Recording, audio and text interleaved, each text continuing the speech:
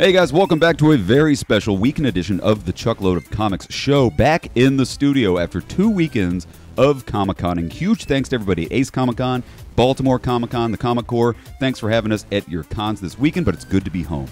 If you are one of our new subscribers here from the cons, welcome to the show. This is our weekend review show. We basically take down all the nerd news, all the everything that happened in the world of fandom over the past seven days, and we break it down for you in about a 20 minute show. So, welcome to the show. Here we go, guys. We got a lot of fandom news to get into this week. Star Wars, of course, the Rise of Skywalker trailer finally dropped on Monday. I know we're a little late to the game, but hey, we're just now back in the studio, so we're going to give you our comprehensive breakdown of everything we saw in that not widely beloved trailer, but it's like it's a little bit of split Right. in the world of fandom, guys. The Mandalorian. We got our first reviews for the show that drops on Disney Plus in a matter of weeks. We're going to break down what the critics are saying about this amazingly awesome show. We have also seen about 15 minutes of The Mandalorian. We're going to give you our thoughts on it. And finally, Wonder Woman 1984. Wonder Woman 2, we have a release date for the trailer. We're going to tell you when we're going to get our first look at Wonder Woman 2. So get excited, guys. Lots of great nerd news to break down before we get into any of that. You may not have noticed, but AMC Theaters is getting into the streaming war. Right? They have launched their very own streaming service, AMC Theaters on Demand is what it's called. Pretty cool. We went ahead and downloaded the app. We gave it a, uh, gave the whole app a one, run through, and we're going to kind of give you our thoughts right off the bat, guys. I'm glad that this app exists. Let me just say, it's a really cool app. Um, it's why it's so good is because you get your first look at these second run movies before they come to Redbox, before they come to Amazon Prime, before they hit Netflix. So it's your first place to see movies like uh, The Lion King is on there right now. The Hobbs and Shaw Fast and Furious movie is on there now. Sc- scary stories to tell in the dark. So cool. Looking for something good to watch this Halloween? You can check out Scary Stories to Tell in the Dark on the AMC On Demand app. One thing I will say about it, it's a tad bit pricey. Yeah. A rental, an HD rental is going to cost you about six bucks. Yeah, I don't know if I like that or not. It's a little high. It's a little high. It's a tad high when compared to a dollar ninety nine Yeah. Redbox rental. I mean, especially for us A-list subscribers, Ah, like ours, right. you know, why why can't we get some kind of discount here, AMC? Good point. I'm, if, if anybody from AMC is watching this show, Yeah. which probably aren't, um, I, it would be nice if you are a twenty dollar a month AMC Yeah. A Stubs uh, Stubs A List member. It'd be nice if you got just a little perk. Something. I'm not trying to be, you know, super gimme, gimme, gimme, but I mean, Maybe I'm a dollar off or something. Give me, or- give me a couple yeah. free rentals. Yeah. I don't know. Uh, the app interface is cool. It looks very good. It's it's very Okay. easy to move through. Uh, I know you have a couple issues with the with the way the app interface. Yeah, I do. I have uh, just just some issues. Like one of my biggest issues is the fact that you can't separate rentals versus purchasing. Right. You have to actually click on the movie itself, and then it'll tell you if it's for available for rental or purchase. Yeah, most things are available like for that. rent and purchase, but I think like Lion King, for example, right now, I think that's one of the ones that's only available for purchase. Right. Um, it would be nice if they had a section. This is what's new for rental. this is what's agree new for purchase. Just just throw that one little feature in there Yeah. to help kind of streamline it and find your way through. But they do have a lot of great titles on there. Oh, for sure. And it's only going to be growing as it goes. So I like it. You can download the app on Roku. I think Amazon Fire, maybe not. Mm. Apple TV. It's available in most streaming platforms. yeah. So download the app. It costs nothing. It's a free app. Exactly. You just got to pay for your rentals and stuff. So if you you know if you want to get those second run movies before they hit Redbox, before they hit Amazon Prime, you can find them on AMC on demand. Finally. Yeah. Somewhere. So Somewhere check it out. I, I really do like the app. It does need a couple of tweaks, but it's only a week old. I'm sure they're going to refine it as they go. So have you guys checked out the AMC Theaters on Demand app? Let us know in the comments section. Sound off, as they say, in the comments section. Let us know what you guys think. So. Without further ado, we got a lot of nerd news to get into, so let's go ahead and break down this week's nerd news.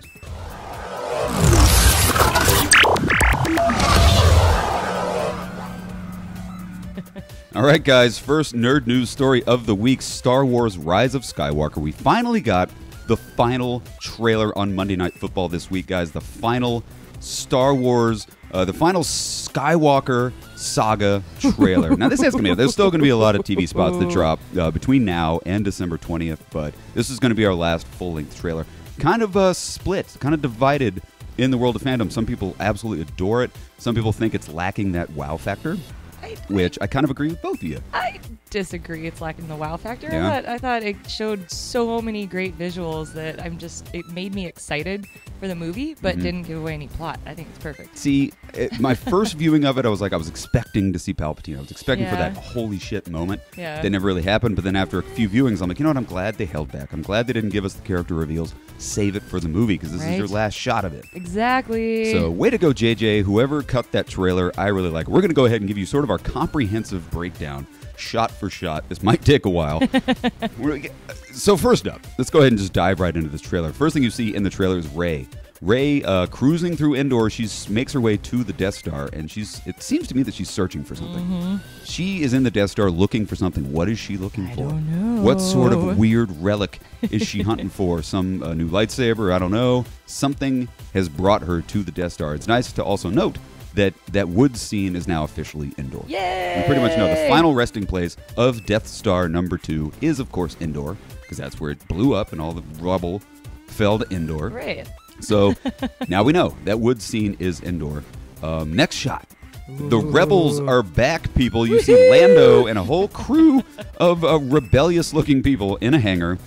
Uh, if uh, pay close, this doesn't look like resistance people. This Right. harkens back to that uh, New Hope big run right before the run on the Death Star number Uh-huh. one. This looks very rebel Couldn't agree more. and especially with Lando standing in the middle. But if you look very closely, there's a uh, member of the Mon Calamari. Oh there's a calamari gosh. person there. We know the great loss of Admiral Ackbar in uh, Last Jedi. One of the things I hated about Last I Jedi was that they, the unceremonious death of Admiral Ackbar. If you look closely, we have a number, another Ackbar-esh looking person. So the question crowd. is, is is it him or is it like a relative or something? If it, it could be his brother, man. If, That's if, true. if JJ brings back oh, he would be so loved. Admiral Ackbar, I would be so happy. Why- if if why- you're gonna retcon one thing from Last Jedi, make it that.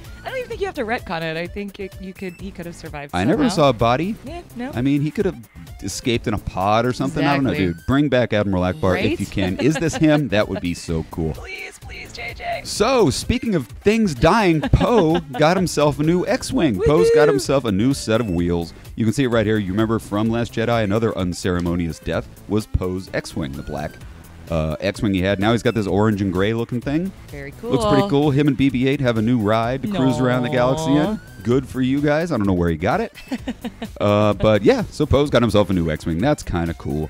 Um, moving on to the next one. Whatever Rey is looking for in the Death Star, I think Kylo wants it too. You see Kylo on uh, the, the the top of the the, the wreckage, Uh-huh. The rubble. This, of course, is the scene that leads to the big lightsaber battle between Ooh. Kylo and Rey. This is, uh, I think she's gonna whatever she goes and finds in the Death Star, she's gonna come out, and just like Indiana Jones, she, someone's gonna Kylo's gonna try to take it from her. Of course. I That's gonna why lead to a big battle. I think this is probably gonna be towards the beginning of the movie. Didn't we hear that this is like the most epic lightsaber scene? That's what JJ ever, like, said. he said like scene? this is the craziest Gosh. lightsaber battle you've ever seen with water, Oh craziness, and he's like he said water. something. Well, he said, he said something about water. He said like we get to see what lightsabers look like when they hit water. Oh my It's gonna be this big steamy. That's interesting. battle Do they scene. sizzle? Do Yeah. they like? Zzz? Of course. It's That's like, gonna like the, the, the lightsaber's gonna hit the water. It's gonna cause this killer mist and dust. It's gonna be the coolest thing. I hope it's in the first act of the film. Oh my gosh! Uh, the next one, the Emperor's got himself a new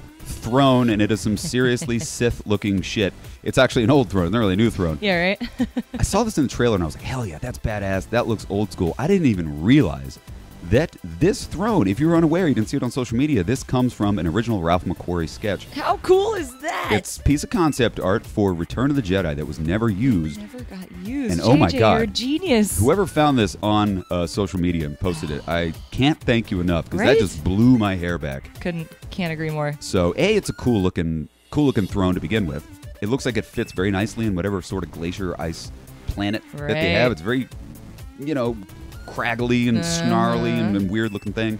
So, and it looks badass and old Sithy and Mm-hmm. looks dope. Speaking of badass and Sithy, the next shot is the Star Destroyers rising from their graves. Woohoo! True J.J. Abrams fashion. He loves bringing ships out from the ground. He does. He did it with the the Enterprise and his Star Trek movies. He likes having ships in rise places where ships something. don't necessarily belong underwater, rising out of stuff. And thank you, JJ, because this shot that. looks rad. Right? You know, later on in the trailer, you see like a whole army of Star Destroyers. I think uh, Palpatine's just hidden them. He's buried them like a jar of pennies in his backyard. Oh my gosh. and now he's digging them all up, and they're going to rise from their graves. Are they loaded with Sith troopers? We don't know. Who's driving these things, or is he using the Force to raise them all up?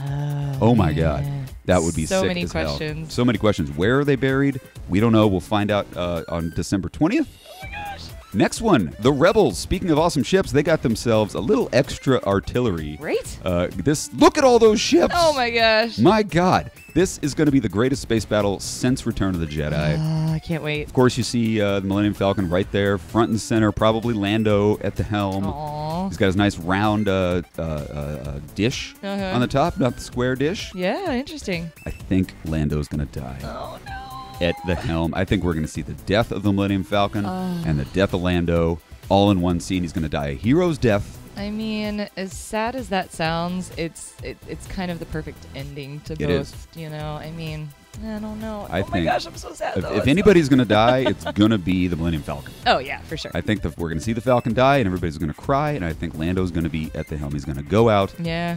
at the wheel of his favorite ship. No. Speaking of Speaking deaths, of deaths, though, oh my no, god, this, this next is like- scene, this is gonna be C3PO may finally be powering down, or at least No. rebooting. Yeah. This was the big Niagara Falls moment of the Right. trailer when uh, when C3PO looks around. He says, "I'm taking one last look at my friends." Oh, he said one last look. Could have been a cheesy scene, but man, it worked. It was really Mm. the only line of dialogue that we see somebody speaking in this whole trailer. There's a lot of voiceover.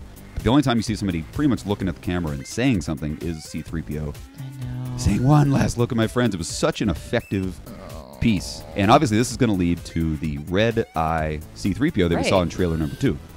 So I think, man. obviously, I think everybody pretty much knows he's going to get reprogrammed, probably as some sort of Imperial droid, Yeah. and he's going to just kind of have his mind wiped. C3PO might also die. I could see JJ maybe killing off C. I think R2's going to live. I think C3PO might not. It's going to be a sad movie. Oh my gosh, it's gonna be so sad. Well, speaking of team ups, a pretty bad transition. We see uh, Rey and Kylo destroying some sort of a Sith statue. That's Darth Vader. It could Head be the Darth the Vader's helmet, Yeah, uh, yeah. pedestal that he had it on. I think it is. I don't know, but it's a really interesting shot because it seems like they're working together, just Mhm. like the throne room scene in Last Jedi. Yeah. Kylo's got a lightsaber, Rey does not, Right?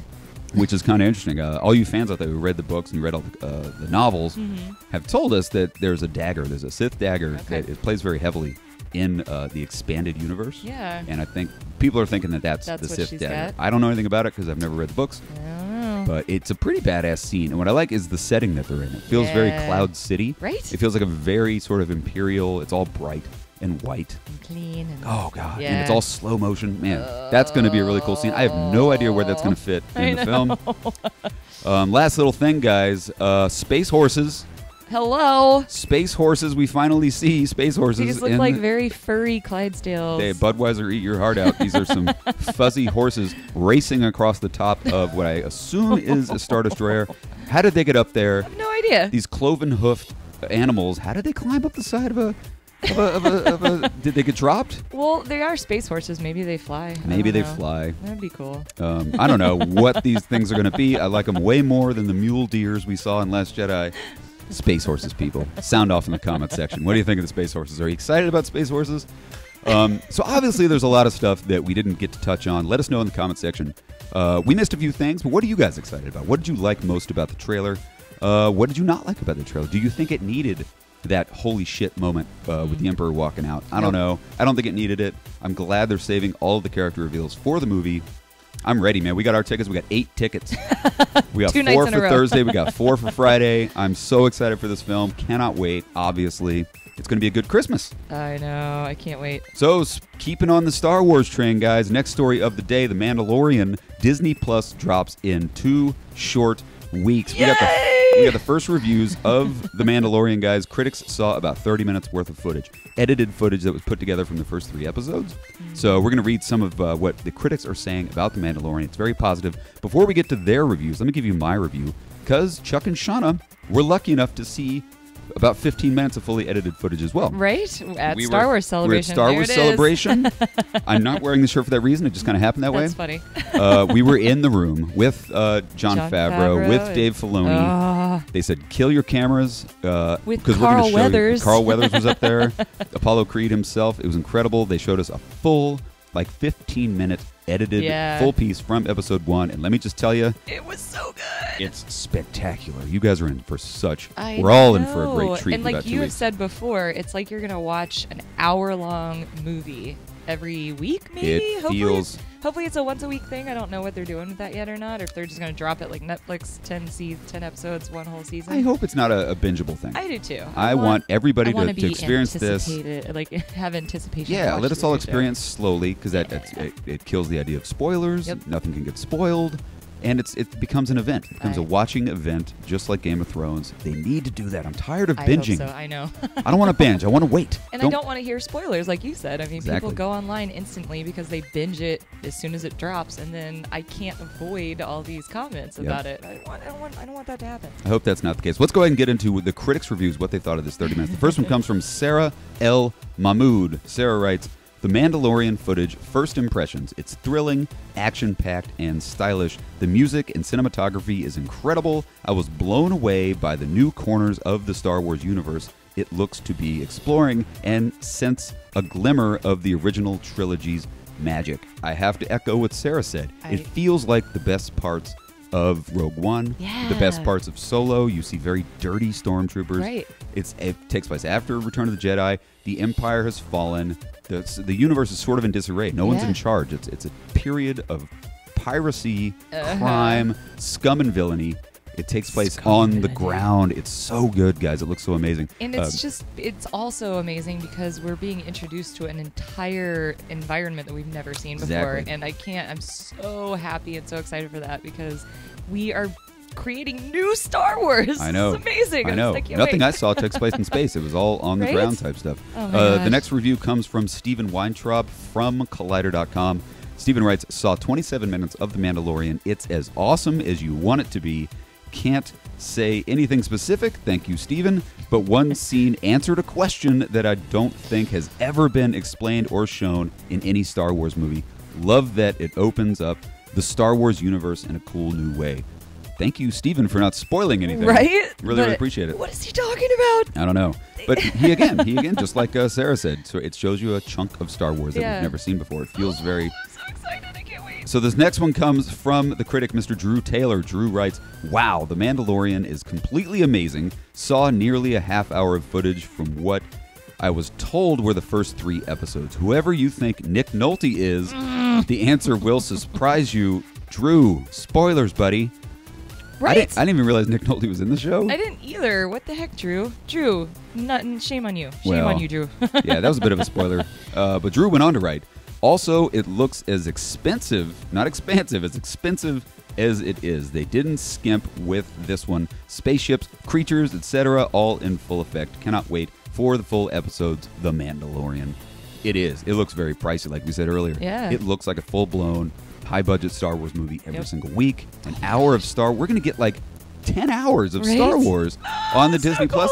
New Star Wars. New Star Wars. Not, you know, not that I have anything against the Skywalker saga, but come on, this is great. This Yeah. is so exciting. Well, we got wait. one more uh, for you. It comes from Scott Wampler. Scott Wampler writes, Y'all know me. know how I earn a living? Do we? Uh, no, I'm not the biggest Star Wars guy, but let me tell you, the Mandalorian footage looked fucking awesome. Ooh. Scott Wampler used the F word He to dropped the describe the, Mandalorian. Thank you, Scott, for dropping the F bomb. For the record, I don't know how you make a living. Um, I'm sorry you're not the biggest Star Wars know fan. Who y'all, are? I Sorry. like- I like Scott. I love He's this tweet. awesome though. So that's nice. Coming from a non-massive Star Wars Yeah. fan, he said it was fucking awesome, and That's- so cool. I love it. So guys, let us know. Those are there's a lot of reviews out there on Twitter, so check them out. We implore you to explore the universe without spoilers and get excited. Mandalorian drops with the Disney Plus service in about two weeks. I think we're about 14 days away from Disney Plus. Get the app, download it. Uh, we downloaded it, and uh, I'm ready. I, no, we Wait, didn't download. no, it. I was gonna say it. it's not available. yeah, we paid for it. Let me give you my gripe real quick. I think I'm, I'm surprised it hasn't launched yet, uh, just for download Uh-huh. because it's good. It's a little scary to think that everybody, three million people, are going to try try to download this thing at the same time. Yeah, I hear what you're saying, but at the same time, it's like, what are they going to put on it? They're going to put a they're going to put a countdown clock. Okay, that's kind of cool. If you just go through it, because that's what they do at Star Wars Celebration. I That's mean, a good point. You go to You're right. StarWarsCelebration.com right now. There's a countdown clock for like one year until Anaheim. Put it. Put a, people love countdown good, clocks. That's a good point. If you That's- follow me on social media, I countdown clock everything. countdown clock. That's a good point. And uh, you had said something the other day too about maybe just put trailers up for all the shows. Put trailers. Put promos. That why not promos, trailers? No, that's a great idea. But they still have two weeks, so I'm not losing hope that they'll launch it before. they so we can at least really download it. should, just to kind of keep it from uh, crashing. Right. But and ha- everybody loves a countdown clock. Imagine you're having a party for the Mandalorian, and you just count it down from one hour, thirty minutes. Count it down to the second. That would be social media gold right there. That's People would be putting this countdown clock all over the place. I hope they do that. They probably won't. Uh, but yeah, go ahead and get it because it drops in two weeks. Get excited. So, last big story of the week, guys Wonder Woman 84, the uh, follow up, Wonder Woman 2 to the Patty Jenkins uh, smash hit, obviously, Wonder Woman. Duh. We have yet to see any footage. We've seen some photos. We, uh, Patty Jenkins took to Twitter and gave us a release date. She said, so excited to bring Wonder Woman 84 to the fans in Brazil and the world. Tune in and see you soon, CCXP. What is CCXP? It's the Brazil Comic Con. A Comic Con that's really getting big. I mean, Brazil Comic Con's getting up there with San Diego. A lot of Ah, people are that's starting to go to awesome. Yeah. Brazil. And uh, so, when is Brazil Comic Con? When are we going to see this trailer? I don't know. It is December 8th. So, the first weekend of December, we're going to get our first look at Wonder Woman 84. Oh my gosh. I think what they'll probably do, they'll show it to the people at uh, Brazil Comic Con. Uh-huh. Then, then maybe it. a week later, you know, let those people enjoy it. Let them uh, have fun with what they stood in line. Let them rub it Right. in all of our noses. Let us rub our noses in the shit that is stuff we didn't see. And then about a week later. So I, I Sure. imagine like maybe like December 15th or something. Which is right around the time Star Wars comes out. Perfect time to drop it. So you can attach it to Star Wars in theaters. Guaranteed it's, going to be attached to Star oh, Wars. I, yeah, I- it has to be, right? So the movie comes out June 5th. Shauna, is, is December 8th too soon to drop a trailer for a movie that doesn't come out till June? Not at all. We haven't seen anything but posters and photos for this. Yeah, I mean, pretty June, bad posters June as is, well. Hey, I kind of like that. That was good. It's six months away. That's not too soon at all. Yeah. I mean, we saw the first Star Wars trailer uh, in March, and that was nine months away. So, Yeah. Well, I'm yeah, sure it's I'm to be it's going to be an extended teaser. I don't think we'll Yeah. get any uh, uh, any idea of what the plot is. Mhm. Um, Sean, anything you're looking you want to see in this trailer? Uh, honestly, no. I I loved how JJ dropped the Star Wars trailer, and like I said earlier, that he gave us all the visuals that we wanted to see, that gave us the excitement about Mhm. or for the movie, and no spoilers, no plot details, nothing. So, Patty, do the same thing. I completely disagree. Of course I want to see Steve Trevor. I want to see where how Steve Trevor died 40 years before this movie. How is Steve Trevor back? How is he looking so young? I do want to see Kristen Wiig, but I Mm. don't want to see Cheetah. So I want to see Kristen Wiig kind of in her normal Okay. body, Okay. and because if Cheetah, if the CG isn't ready Yeah. for the trailer, don't show us some unfinished uh, CG cheetah. Save it. I wouldn't mind seeing, you know, maybe the back of her head, maybe some whiskers or an Yeah. ear, a tail flip, you know, something maybe, but don't spoil it by showing us some half-ass, half-finished CG uh, rendering. okay, that makes sense. Because there's nothing worse than seeing a half-rendered piece of material in a trailer just so you can put it in there. They're I- not going to do that. what I really want to see, this takes place in the 80s, and we know it takes place a little bit in a mall. I think they need to do what they did with Stranger Things season three and make it a very 80s style trailer. Make it feel like an 80s That- mall would be commercial. fun. I want to see uh, Wonder Woman in an orange Julius. right? Hanging- going to Claire's and getting her ears pierced. Getting your ears pierced at Claire's, going to Auntie Anne's Pretzels, buying a new pair of Keds or something. I don't know. It's kind of I kind of like that theory. That would be cool to I, see. I don't know if they'll do it because Stranger Things already beat them to the punch and it'd be a That's little true. bit copycat, but I think that would be a really fun That way to do it. cool. Make it feel like it's an 80s promo. Make it Yeah. feel like it's an 80s commercial. And to me, that's not spoiling anything. That's not giving away any plot details. We all obviously know it takes place in the 80s, hence the title of the Yeah. movie. Yeah, yeah. So I think that's fine. I wouldn't mind seeing uh, Wonder Woman in her that whatever that new gold yeah. armor that she's rocking that I from that poster that I hate, that crazy Technicolor poster. The armor was cool in that poster. The shit going on in the background was a little too much for me Okay. because I threw away my black light when I was 12. So, but it's the 80s, and that just embodies the 80s to me. That's true. Bright colors. It does look like a poster you would buy at Spencer's. I In the Yeah. blacklight corner of Spencer's, all you kids from the 80s, remember the blacklight corner of Spencer's uh, before you all started smoking pot. So let us know what you think, guys. Are you excited? December 8th, new trailer, first trailer for Wonder Woman 84. And that's about all we got for this week, guys. What an amazing week in the world of fandom. So glad to be back in studio here in Chicago. We're done with cons until February. Our live coverage of C2E2 is going to be uh, the end of February. Oh my gosh, that's so fun. So get excited. Lots of cool C2E2 stuff we're going to be dropping pretty soon. So thanks a lot for watching, guys. Join us here every single Sunday. Thanks for subscribing to the channel. This is the show. So if you're new to the channel, join us here every single Sunday for a breakdown of all the nerd news, everything that happened in the world of fandom over the past seven days, broken down into a nice little 20 minute segment. So have a fantastic week, guys. Enjoy winter because it's coming and get excited about Star Wars. We'll see you here next week.